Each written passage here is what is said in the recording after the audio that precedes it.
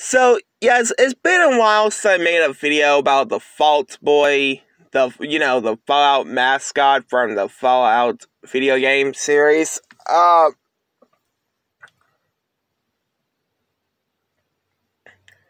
which, yes, uh, did you guys know he has three superpowers? Bet y'all didn't know that either.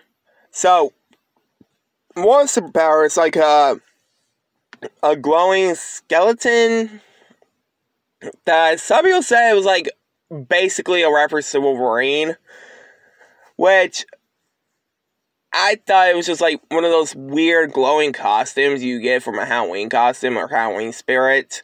But anywho, uh, besides the point, uh, let's get to the next superpower he had. And yes, this is just like the superpower I'm talking about. He has three of them. Uh, one, he turns into a muscular dude like uh, the Incredible Hulk.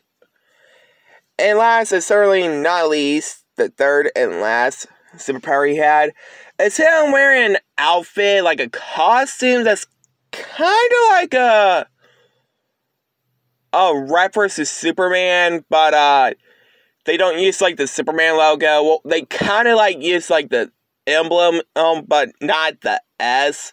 Like, only use numbers. Can't remember the numbers. But I think it's pretty cool. And that is like the three superpowers that y'all didn't know the character had from Fallout. But anyway, guys, guys like, comment, subscribe.